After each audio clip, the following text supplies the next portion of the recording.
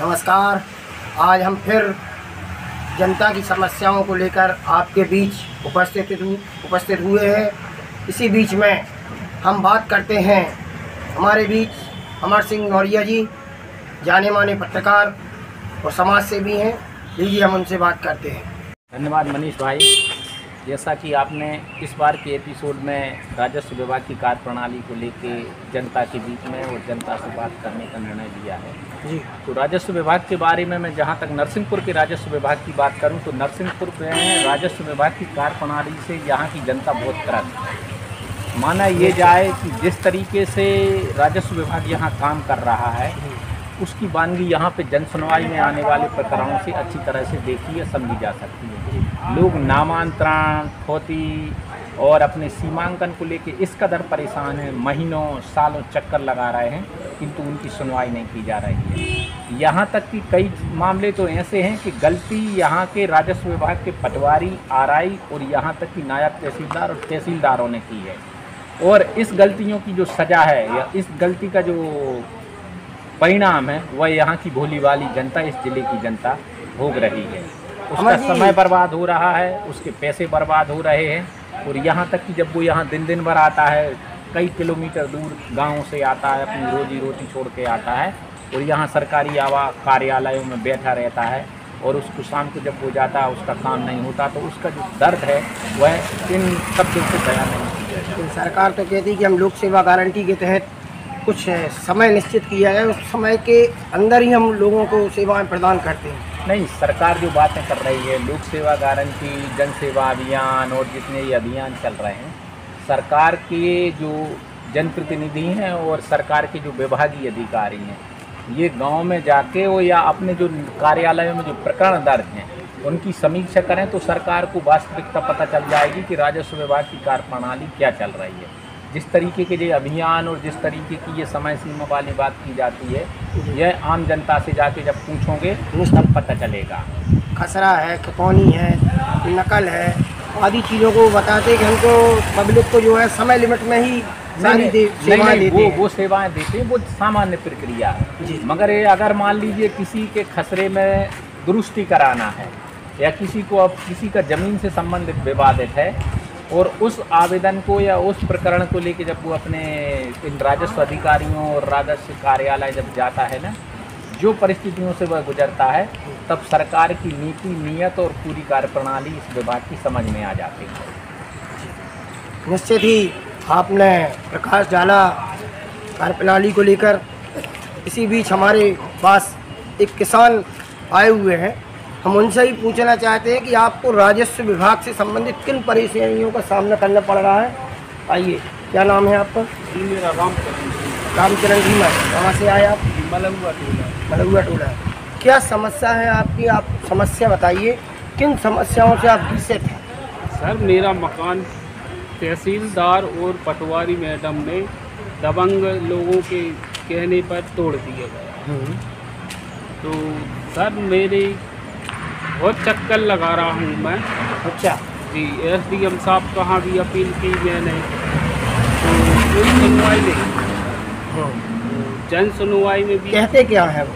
आपकी समस्या मूल समस्या क्या है और उस समस्या को कैसे बोलते हैं? जी पेशी दे देते हैं। हुआ क्या है आपके साथ? अब आज ही हुआ ये कि मैं से पूछी का आपका मकान है? हाँ। तो मैंने बोला हाँ है सियानों का है हाँ। इंदिरा आवास वाला है। हाँ। तो उसी में रह रहे हैं। हाँ। पनी के के दो कमरा है उसमें। हाँ। अब मेरा मकान आने वाला है हाँ। इंदिरा आवास का। तो सर अब मैं कहाँ जाऊँ कहाँ मकान बनाऊँ?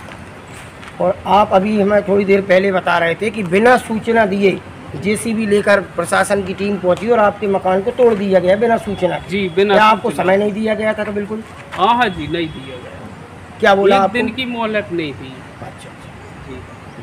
हम तो बहुत ज़्यादा पीड़ित बहुत परेशान हैं हम तो। इसी बीच देख रहे हैं आप न्यूज़ 99 की टीम को यह अपनी राजस्व की काल प्रणाली को लेकर कितनी परेशान हैं कितनी घृषित हैं। यह बता रहे हैं कि हम सही काम में चल रहे हैं, उसके बाद भी हमें परेशान किया जा रहा है। राजस्व की टीम के द्वारा लगातार एस डी एम तहसीलदार पर यह आरोप लगा रहे हैं। इसी बीच हमारे बीच समाज सेवी और किसानों की जनहित समस्याओं को लेकर हमेशा डटे रहने वाले बाबूलाल पटेल जी हमारे बीच उपस्थित हैं। हम बाबूलाल जी से कहना चाहते कि आप भी हमें किसानों से संबंधित समस्याएँ और राजस्व से संबंधित जो समस्याएँ किसानों को आ रही जिससे आज किसान मतलब कितना परेशान हो रहा है इस बात को आप थोड़ा प्रकाश डालें। आइए। राजस्व विभाग की कार्य प्रणाली तो तब पता चली जब चिनकी बाँध में बैठे हुए भूरपुर करेली विकास खंड में जो किसान है प्रभावित किसान है उस समय जब राजस्व विभाग का अमला किसानों की समस्याओं को लेकर वहाँ पहुँचा तो उस अमले की जो कार्य प्रणाली है उस दिन उजागर हुई।